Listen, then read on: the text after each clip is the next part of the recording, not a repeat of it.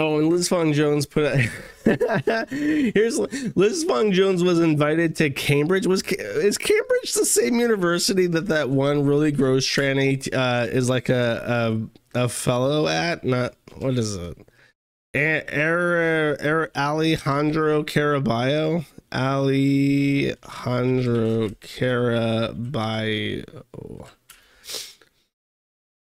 uh, at Harvard, not Cambridge. I'm wrong. Uh, Liz Fong Jones was invited to Cambridge to speak about reverse engineering hate, how he and a, a small group of dedicated lovers has taken down the kiwi farms forever.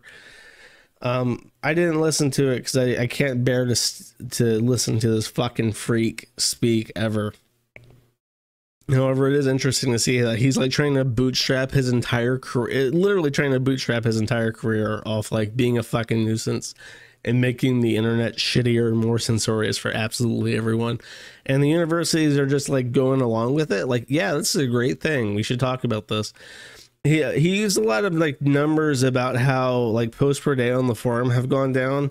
However, one of the things that really can't be measured by these studies is uh, the hate. The, the title of this speech was Hate Reverse Engineered. So uh, it, the metric should be how much hate towards protected marginalized groups there are, like for instance, trannies. How much you want to bet? Because we do, we receive, it's slowly climbing back up, but we do receive about 8,000 logins a day, right? And it used to be about 16,000 and it's creeping up. It was, you know, it was 6,000 and then it was 7,000, 8,000, getting close to 9,000 again, creeping back up to what they were. How much do you want to bet that those 50% of accounts that are no longer accessed um, are liberated from their hate? How much do you want to bet that the total amount of hatred towards trannies at this point in time has decreased in uh, corresponding in, in, in, proportionally to the amount of logins uh, to the forum.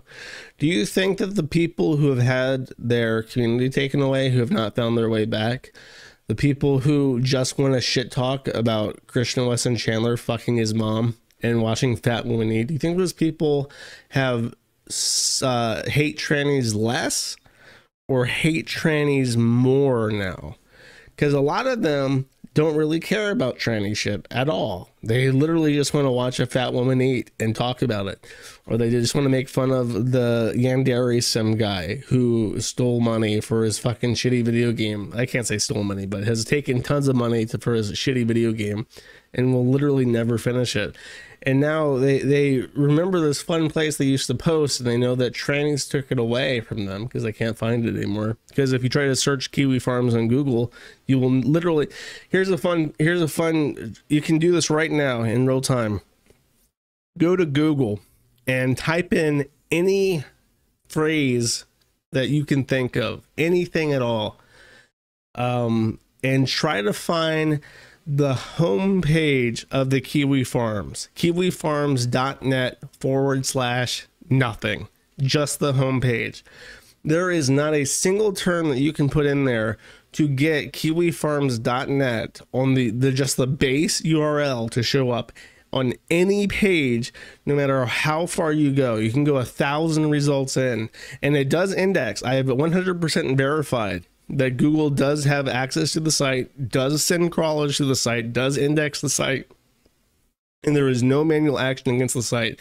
You you will find the forum discussion page sometimes for Kiwi Farms, but you will never ever ever ever find the URL, the base URL, which is not an issue anywhere else. And that's why and they even removed it from Wikipedia so you can't find it from that either. So there is like a deliberate top-down censorship from multiple massive multi like in Google's case a multi-billion dollar international search engine has decided that yeah, you don't get to know where the Kiwi Farms is. You don't get to find it. Um so yeah, that's why people don't find it. And I guarantee that the people who can't find it, who haven't just tried searching, you know, typing in the URL or haven't found through social media that's back up at that URL, uh, I guarantee you that they hate trannies more than fucking ever. And people who never paid attention to it um, are now galvanized against this this group of people who wield absolutely inordinate amount of control over all media in the planet right now. Thank you for watching this clip. This is the CAC Remember to like and subscribe.